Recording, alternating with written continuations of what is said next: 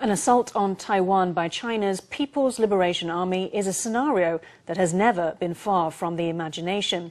In the event, experts would expect it to include sudden raids and landings on the nation's airfields. The Air Defense Artillery Command is tasked with protecting Taiwan's airspace in such a situation.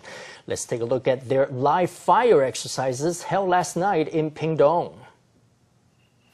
The night sky in Pingtung's Fangshan township blazes with two lines of cannon fire. Anti-aircraft artillery are carrying out nighttime drills with Oerlikon GDF cannons.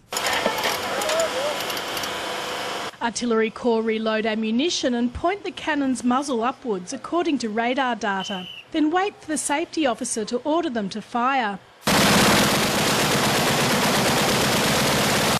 As our own radar, a kind of mid to low altitude search radar, when a cruise missile approaches rapidly from far away, you can see the point where it's at very clearly on our display. The precision of these nighttime drills depends on the continuous daily training of both officers and soldiers.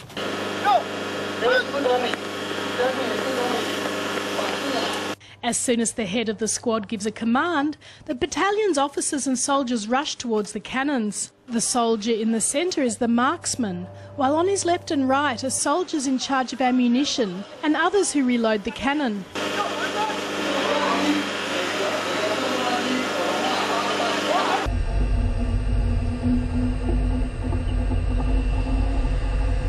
The cannon is aiming for this target, designed to mimic a cruise missile. You can see it during the day, but at night, of course, we're grasping in the dark. So during peacetime, you need to become familiar with the operations. Combat readiness depends on solid training during peacetime, especially for anti-airborne operations. The cannon power demonstrated here could buy more time for other forces to react in a real combat situation.